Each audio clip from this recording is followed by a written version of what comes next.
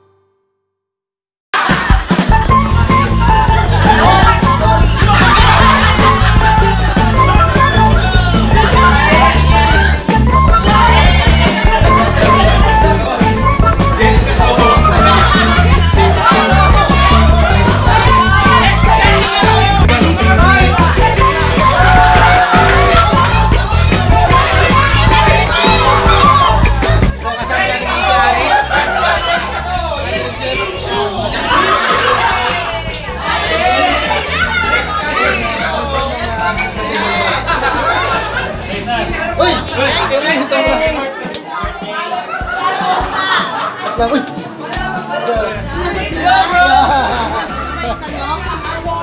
Kompleto, kompleto. Halos mo kompleto ang ah, trauma ng ating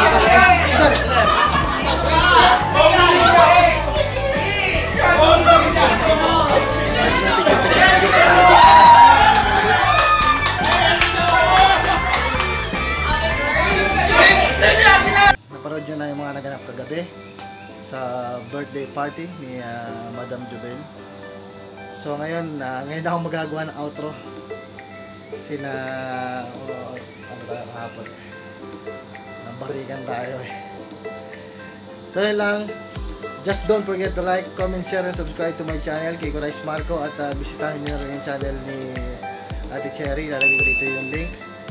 At uh, kung gusto nyo mapanood ng mga sayo-sayo ni Jollibee, nandyan yan, makikita nyo dyan. Once again, don't forget to like, comment, share, and subscribe to my channel, Kiko Rice Marco. Mabuhay OFW, mabuhay tayong lahat. Good night.